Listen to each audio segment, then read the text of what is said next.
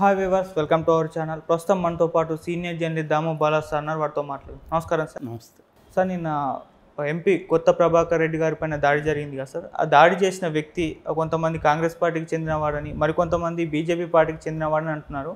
మరి ఏ పార్టీ ఆయన పైన దాడి చేయించింది? మరికొంతమంది అది కోడికత్తి లాగానే ఈయన ఇది ఆడిస్తున్న డ్రామా అని అంటున్నారు. మరి దీంట్లో వాస్తవం ఎంత యా నిన్న సిద్దిపేట జిల్లా దౌలతాబాద్ మండలం సూరంపల్లిలో ఈయన కొత్త ప్రభాకర్ రెడ్డి పదేళ్ళు ఎంపీగా పనిచేసిన వ్యక్తి ఇప్పుడు దుబ్బాక బీఆర్ఎస్ తరఫున పోటీ చేస్తున్నారు.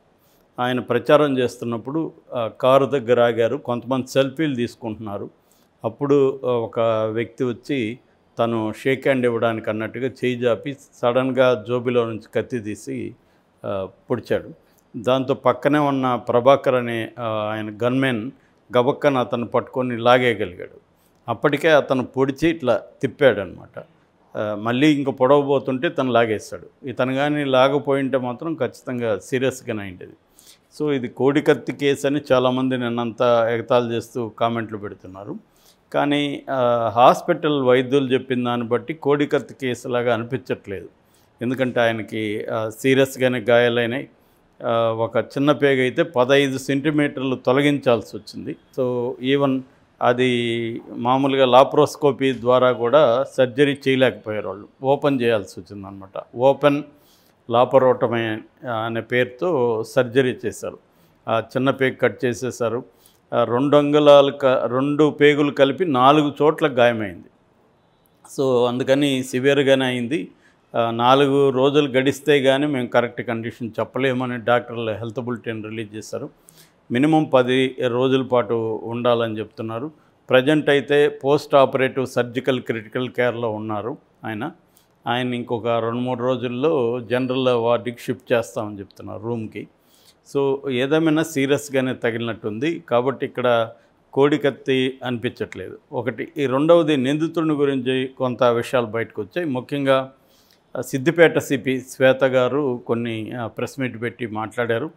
ఆమె ఏం చెప్తుందంటే ఇతను ఇతని పేరు గడ్డం రాజు అలియాస్ గట్టని రాజు ముప్పై ఎనిమిదేళ్ళు. ఇతను వచ్చి మిడిదొడ్డి మండలం పెద్ద చెప్పాల గ్రామం. ఇతను మామూలుగా జులైగా తిరుగుతుంటాడు టెన్త్ క్లాస్ చదివాడు. టూ థౌజండ్ ఎయిటీన్ ప్రాంతంలో కాంగ్రెస్లో కొంత కార్యకర్తగా పనిచేశాడు.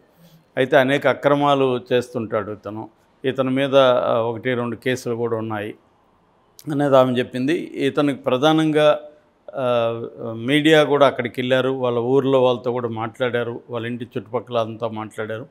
ప్రధానంగా ఇతను తాగుతాడు బాగా. ఆ రోజు కూడా తాగేసి వచ్చాడని చెప్తున్నారు. మేదొడ్డిలో కత్తిగా ఉన్నాడని చెప్తున్నారు. ఆ కత్తిగా ఉన్న షాపులో కూడా వీళ్ళు మాట్లాడారు. సో అది మామూలుగా కూరగాయల కోసి కత్తి కాబట్టి ఎవరికైనా అమ్ముతారు అక్కడ. సో దళిత బంధువు ఇంటి విలేకరి ఇతను ఏంటంటే విలేకరిగా కూడా పనిచేస్తాడు యూట్యూబ్ ఛానళ్ళు కొన్ని వెబ్సైట్లలో. సో దళిత బంధు త- తనకు రాలేదు ప్లస్ విలేకరి కోటాలో ఇంటి స్థలం కూడా ఇవ్వలేదని ఒక కక్ష పెట్టుకొని చేశాడనేది ప్రధానంగా ఇప్పటివరకు తేలుతున్నది. అయితే గతంలో కాంగ్రెస్లో ఉన్నాడు కానీ తర్వాత ఇనాక్టివ్ అయిపోయాడు. అయితే కొంతమంది బీఆర్ఎస్ వాళ్ళు రఘునందన్ రావు అనుచరుడుగా పేర్కొంటూ చెప్తున్నారు. ఎందుకంటే రఘునందన్ రావు దుబ్బాక ఎమ్మెల్యేగా ఉన్నాడు కాబట్టి ఆయన అనుచరుడు ఇది ఆయనే చేయించాడు అనేది చెప్తున్నాడు. దాంతో ఆయన ప్రెస్ మీట్ పెట్టి ఈ అబ్బాయి కా ఫేస్బుక్లో కాంగ్రెస్ వాళ్ళతో ఫోటోలు పెట్టుకున్నాడు చూడండి అనేది ఆయన రివీల్ చేశాడు.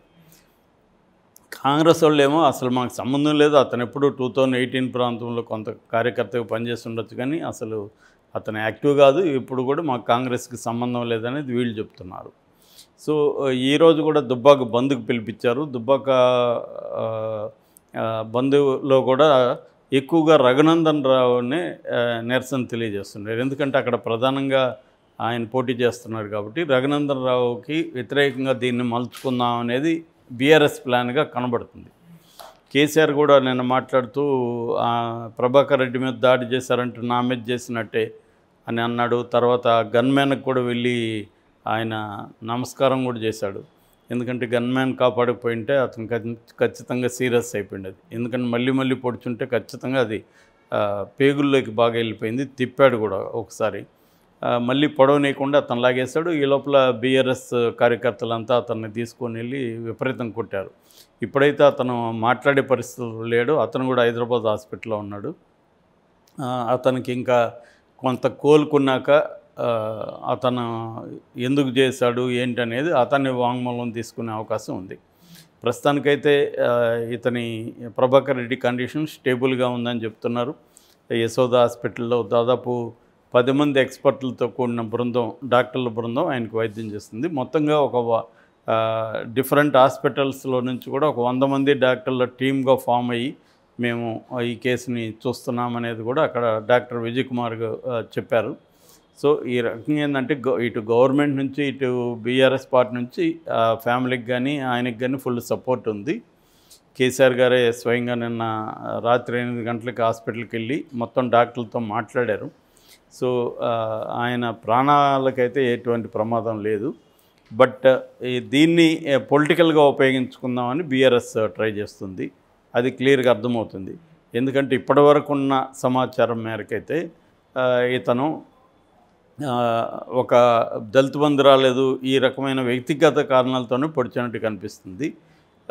అయితే దీన్ని బీజేపీకి అంటగట్టే ప్రయత్నం చేస్తున్నారని బీజేపీ విమర్శిస్తుంది.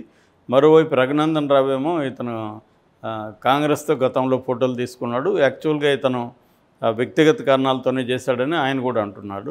రెండో వైపు ఆయన ఇది కాంగ్రెస్ బీఆర్ఎస్ కలిసి చేస్తున్న డ్రామా మా మీద ఆరోపిస్తున్నారని ఆయన అంటున్నాడు. మామూలుగా ఎలక్షన్ టైంలో ఇలాంటివి జరిగినప్పుడు ఇది కామనే. ఏ- ఏ పార్టీకి జరిగినా ఆ పార్టీ ప్రత్యర్థి పార్టీ మీదనే వేస్తుంది. ఎందుకంటే దీని మీద ఒక విచారణ జరిగి ఎవరు చేశారు ఎందుకు చేశారు అనేది రాకముందే రాజకీయ ఆరోపణలు ప్రారంభమవుతాయి. ఎందుకంటే ప్ర ఎలక్షన్ టైంలో ప్రతిదీ రాజకీయం చేయాలని ట్రై చేస్తారు. సో ఈయనైతే ఇమీడియట్గా కోలుకునే పరిస్థితి కనబడలేదు. ఒక పది రోజులు నుంచి టూ వీక్స్ పట్టే అవకాశం ఉంది. ఆ రకంగా ఇప్పుడు ఆయన లేని లేదు కాబట్టి అక్కడ క్యాంపెయిన్ ఇవన్నీ చేయాలి కాబట్టి వాళ్ళ అనుచరులు బంద్కి పిలిపివ్వడం కొంత ఆందోళన కార్యక్రమాలు చేస్తున్నారు. ఆ రకంగా ఈయనకి అది హెల్ప్ అయ్యే అవకాశం ఉంది. ఈ అబ్బాయి చేసింది. అంటే కోడికత్తి కాకపోయినా కోడికత్తిలో జగన్కి ఎలా హెల్ప్ అయిందో ఇది కూడా అలా హెల్ప్ అయ్యే అవకాశం ఉంది. రేపు పొద్దున ఈయన వచ్చినా వీల్ చైర్లో ఉండడమో ఇట్లాంటివి చేసే అవకాశం ఉంది. ఎందుకంటే గతంలో ప్రశాంత్ కిషోర్ ఇట్లాంటి ఐడియాలు ఇచ్చేవాడు క్యాండిడేట్స్కి సో కొంత గాయ గాయాలు కానీ లేకపోతే ఏదైనా హెల్త్ ఇష్యూస్ కానీ ఉంటే ఒక రకమైన అది సింబాలిక్గా సింపతి క్రియేట్ చేస్తుంది ఓటర్లలో. తెలియకుండానే అన్కాన్షియస్గా కూడా ఒక రకమైన సాఫ్ట్ ఇది కా కార్నరు వాళ్ళ లోపల వస్తుందన్నమాట. సో ఆ ఆ యాంగిల్లో ఇతను ఉపయోగించుకునే అవకాశం అయితే క్లియర్గా కనబడుతుంది thank you sir. Thank you